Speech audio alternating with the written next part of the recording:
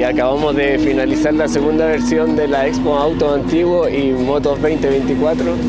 la cual eh, tuvimos gran convocatoria, tuvimos 30, 31 vehículos que se inscribieron y alrededor de 25 motos, por lo tanto eh, estamos muy agradecidos de los participantes y así de toda la gente que vino a esta gran actividad y también de los funcionarios de la Dirección de Tránsito que prepararon esta actividad con mucho cariño para toda la comunidad. Este es ya el tercer año que participamos en la Expo, venimos trabajando en equipo con todo el mundo motero y agradecido, agradecer estas instancias